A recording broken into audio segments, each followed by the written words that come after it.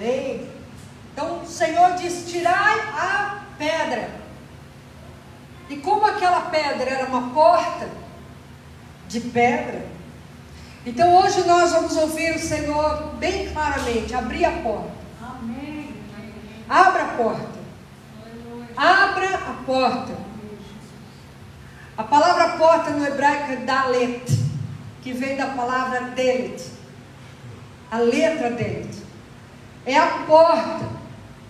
A porta para que o Senhor possa realizar o milagre. Jesus poderia ter feito assim, ó, e a, aquela pedra tinha rolado. Aquela porta, em forma daquela pedra, tinha esmiuçado. Mas ele estava dizendo para as pessoas: abra a porta, tire a pedra. Tire a pedra.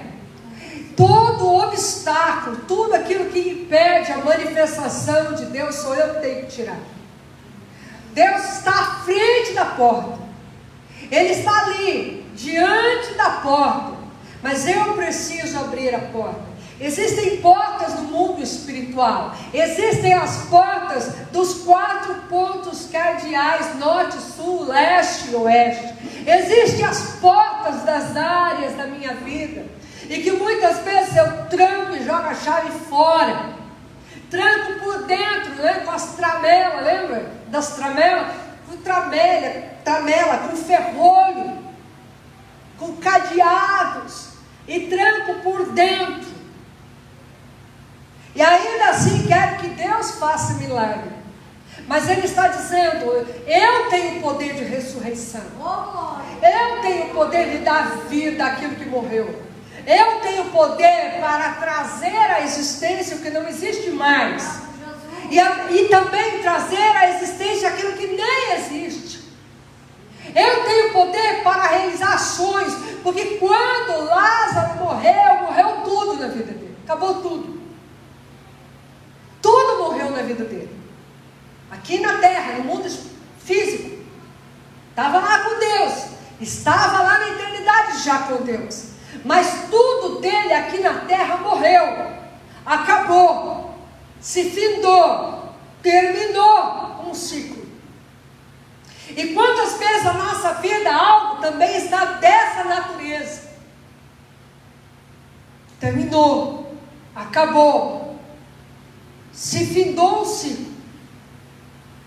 Não tem mais esperança, não tem mais solução, não tem mais aonde, porque não, há uma situação que passamos, às vezes traumas, dores, dificuldades, situações que mexeram tanto conosco, tanto com a nossa alma, tanto com o nosso físico, tanto com o nosso emocional, que nos trancamos naquilo.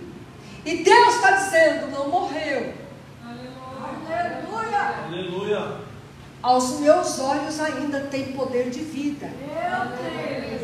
Mas eu preciso que você tire essa pedra, abra essa porta, nos quatro pontos da tua vida.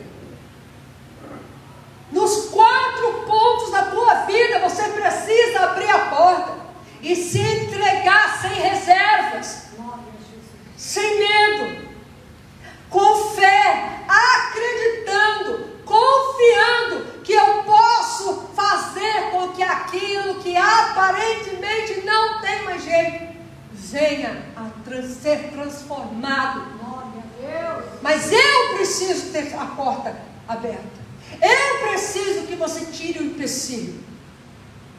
Às vezes a gente fica assim, ah Senhor, tira isso, tira aquilo, faz aquilo, faz aquilo outro. Senhor, faz isso, faz aquilo.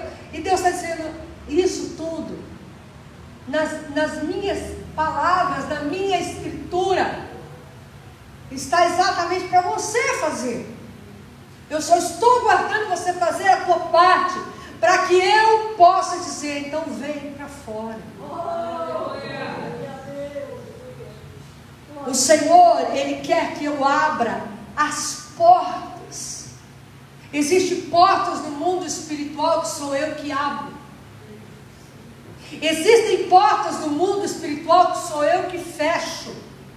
Presta atenção no que Deus está falando com você. Olha aqui. Olha para mim. Deus tem algo poderoso para fazer na tua vida, se você deixar. Então não fica distraído.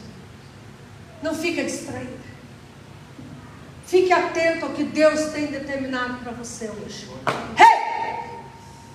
Tem algo extraordinário para fazer na tua vida.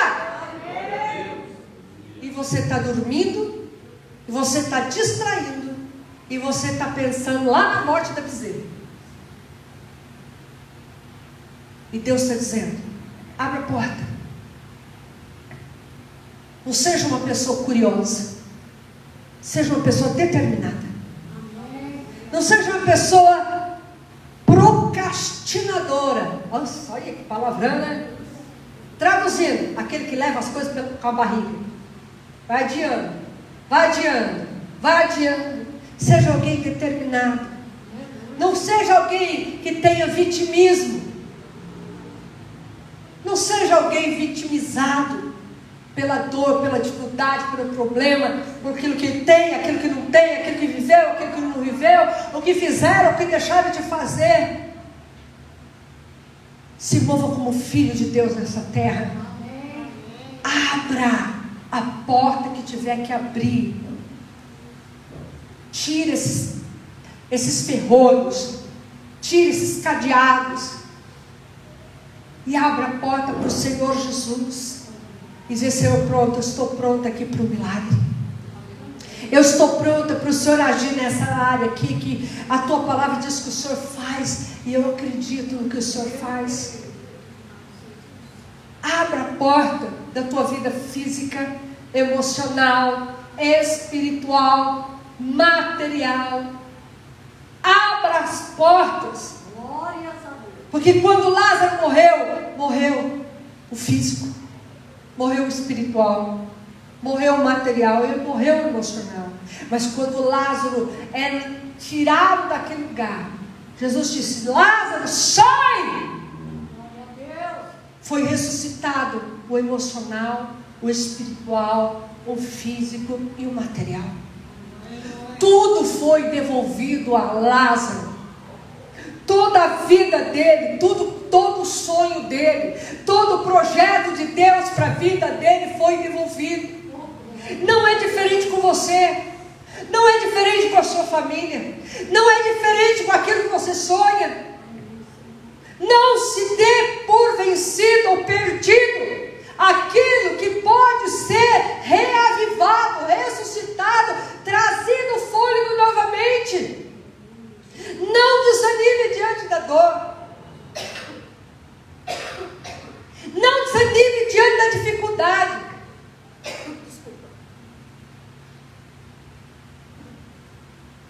Garganta vai secando. Não desanime. Aleluia. Diante de tristeza, de perdas, deixa que o Senhor tem poder de vida. Só abra a porta para Ele. Aleluia. Abra a porta que tiver que abrir e fala: Senhor, toma conta. Seja o Senhor dessa área da minha vida. Nós temos que entregar nossa vida por um todo ao Senhor.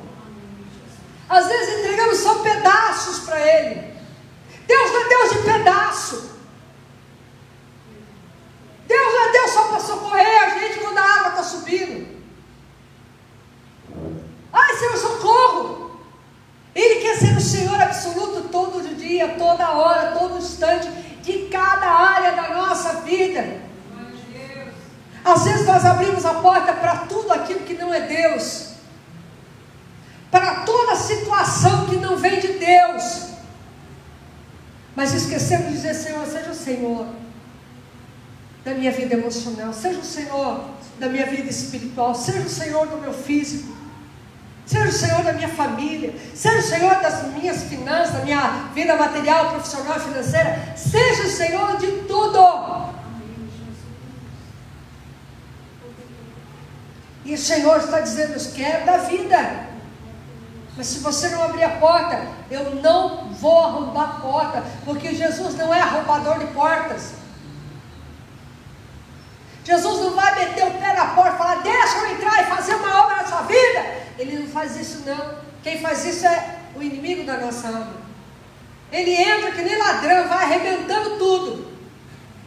Mesmo o diabo, ele também tem que ter porta aberta para entrar. E às vezes nós fechamos para Jesus e abrimos. Ah, eu não abro porta para o diabo, não, pastor. É, às vezes a gente dá uma falhada, às vezes a gente faz o que não deve, fala o que não deve, e está abrindo porta e não está vendo.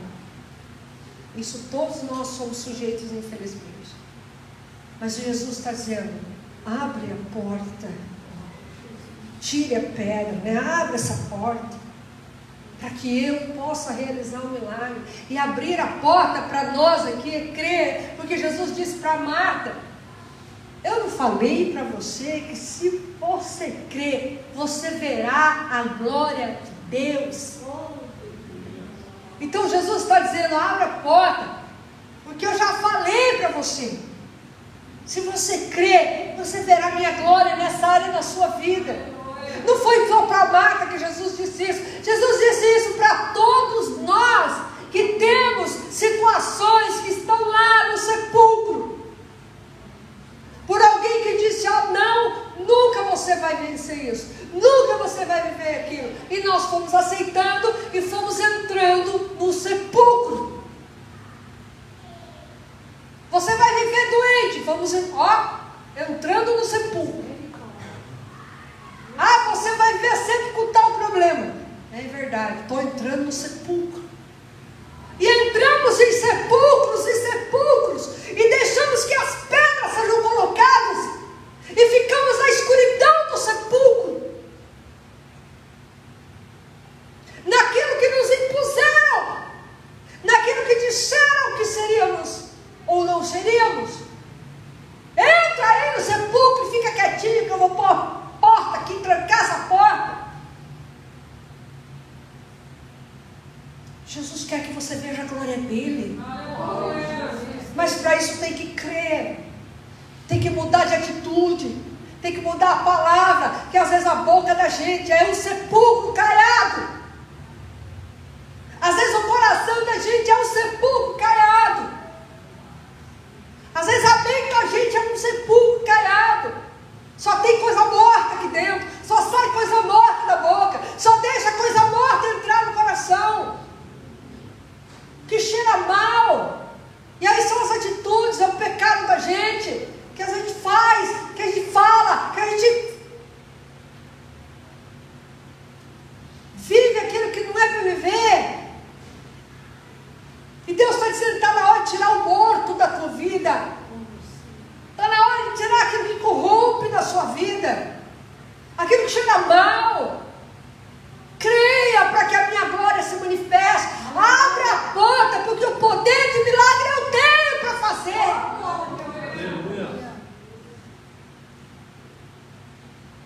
Lázaro sai. Está tudo amarrado, que antigamente era assim, jogava, eles lavavam o corpo, até hoje eles faziam, lavavam o corpo, passava bálsamo, e colocava faixa de linho enrolado assim, que não múmia. Não era mumificação, mas enrolava assim as faixas de linho. E, ó, Lázaro lá, não sei como que ele subiu, né? Que era no fundo. Ó, Lázaro lá. Jesus disse: desatai e deixai ir. Uma vez que você vê o poder de Deus, você abre a porta. E o poder dele se manifesta, o milagre dele se manifesta. Sou eu que tiro as ataduras. Sou eu que tiro o que prende, as algemas, que é a parte de libertação Nós temos que orar uns pelos outros para serem curados e libertos. Não é Jesus que vai vir libertar, no sentido de, Senhor Jesus, cura aqui, liberta aqui. Ele diz: curai os enfermos, libertai, os, expulsai os demônios. Ele deu autoridade para que a gente pudesse fazer isso no nome dele sempre. No nome de Jesus sempre. Então Deus está dizendo assim: está pronto para ver o meu milagre? Para ver a minha glória? Você está preparado? Então comece a arrebentar esses ferrolhos que impedem a minha entrada na sua vida. Começa a tirar essa pedra, essa porta aí. Abra essa porta, deixa eu entrar. Eis que estou a porta e bato. Quem ouvir a minha voz, eu entrarei. E abrir a porta, eu entrarei, cearei com ele e ele comigo. Jesus disse em Apocalipse 3, 20. Ele está esperando. Ele está esperando que eu tome providência no mundo espiritual e abra as portas necessárias. Em todas as áreas da nossa vida portas. Em todas as áreas, o Senhor tem poder para manifestar milagre. Milagre. Qual o maior milagre que você precisa hoje? Ele tem poder para fazer.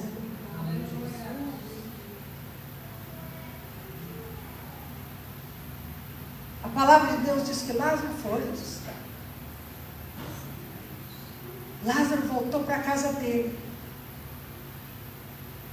Lázaro teve toda a sua vida restaurada, não foi só, ah, estava morto e viveu. Todas as áreas da vida de Lázaro foi restaurada. Houve uma interferência de Jesus na vida de Lázaro.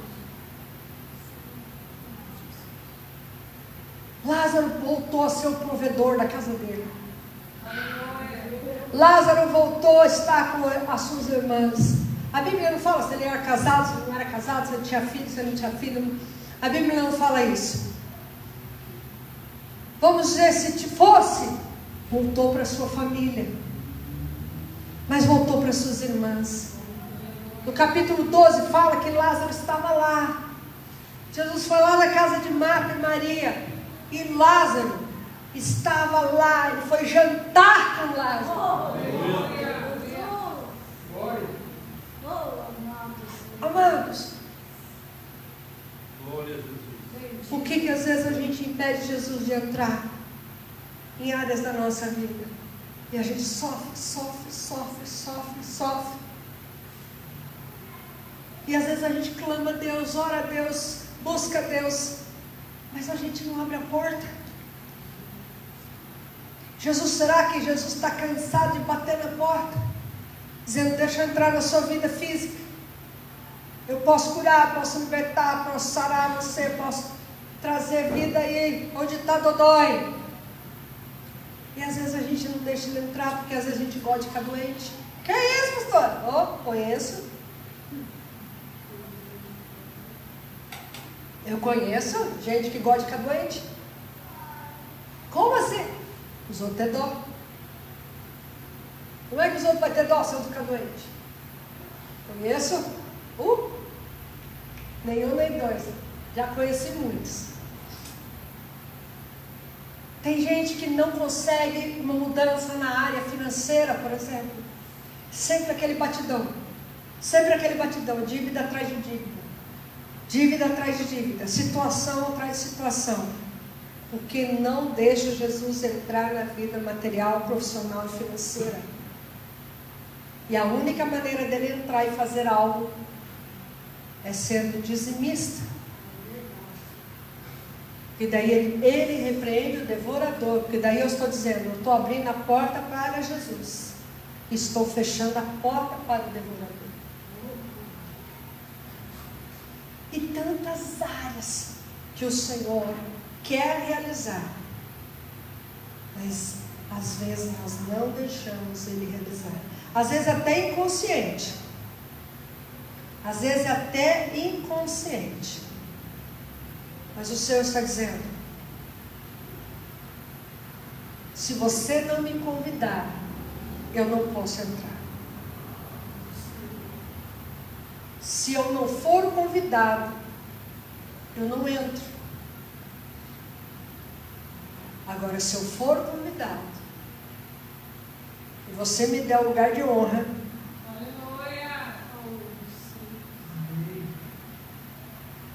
aí eu tomo conta de tudo. Tudo, tudo, tudo, tudo eu tomo conta. Aí você verá a minha glória se manifestar de maneira extraordinária. Você está preparado para isso? Está preparado para o tempo que Jesus quer entrar e pôr em ordem a tua vida emocional, a tua família, as tuas finanças, os teus sonhos, os teus projetos? Está preparado para Deus agir na tua vida espiritual? Qual área da tua vida você precisa de uma intervenção hoje? Você vai ficar de pé no teu lugar. Eu tenho uma área na minha vida que eu preciso que Deus entre com a sua providência. Você tem? Então coloque-se de pé. E coloque diante de Deus. Fala para Ele, Senhor, eu estou hoje abrindo a porta. Eu estou abrindo essa porta. E eu estou te convidando a entrar nessa área. Eu, se eu fosse você, fala, Jesus já entra em todas. já faz o serviço completo, Jesus. Já toca em tudo que precisa tocar, já move o que precisa mover. Agora, você está preparado para Deus tirar a tranqueira que está aí? O entulho? Você está preparado para que Jesus tire o entulho? Você vai deixar ele tirar entulhos? Então, existe um entulho, que na minha opinião pode ser o pior entulho que existe. É a falta de perdão. Esse é um entulho que trava todas as áreas. Falta de perdão. Tanto de perdoar como de pedir perdão.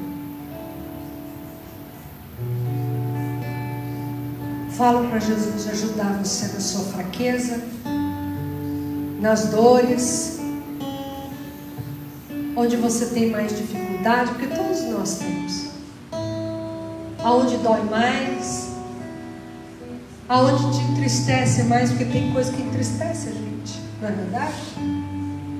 Tem coisas que a gente chora por aquilo, fala, poxa vida, por que isso?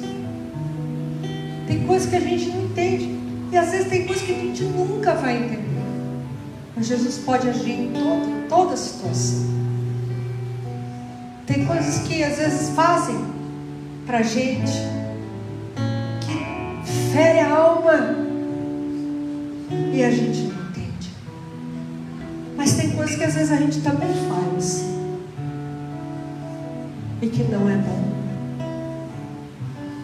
Então, assim como Jesus disse para o povo lá: tire a pedra, abre, abre a porta.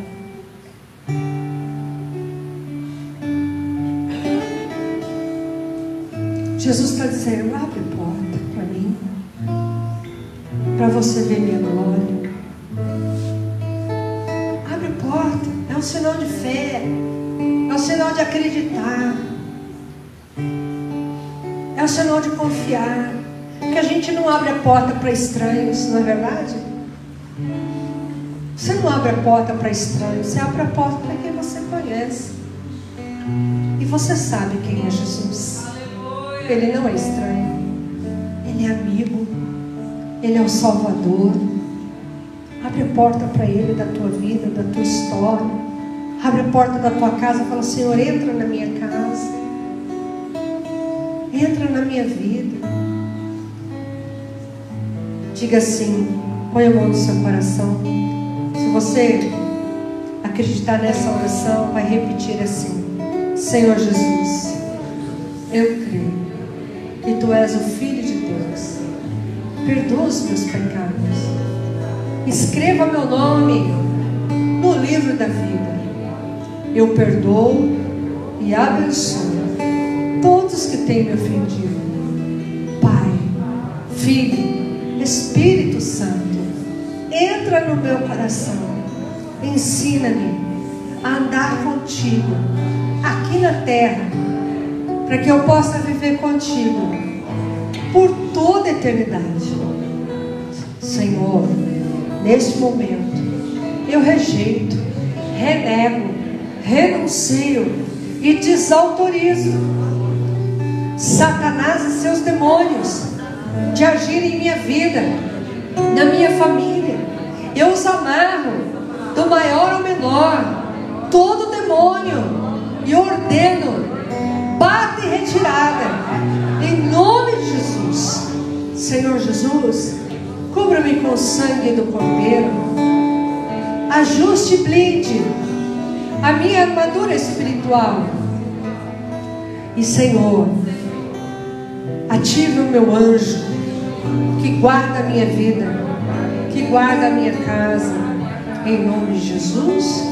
Amém. Agora fala para Jesus. Eu abro essa porta.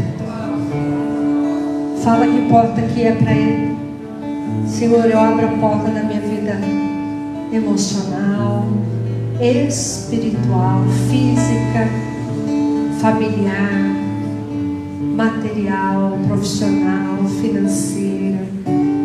Eu abro a porta da minha casa, do meu trabalho. Eu abro a porta, Senhor, da minha vida, nas áreas mais doídas e mais difíceis. E eu fecho a porta para o inimigo da minha alma em nome de Jesus. Conta para Ele. Conta para o teu Senhor. Conta para o teu Salvador.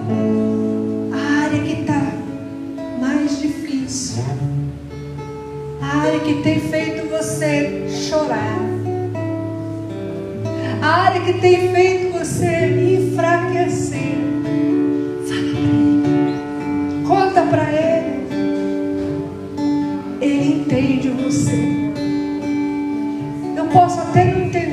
Você. Posso até não compreender o tamanho da tua dor. Mas Ele consegue. Ele entende a nossa dor. Ele entende a nossa frustração. Ele entende a mágoa,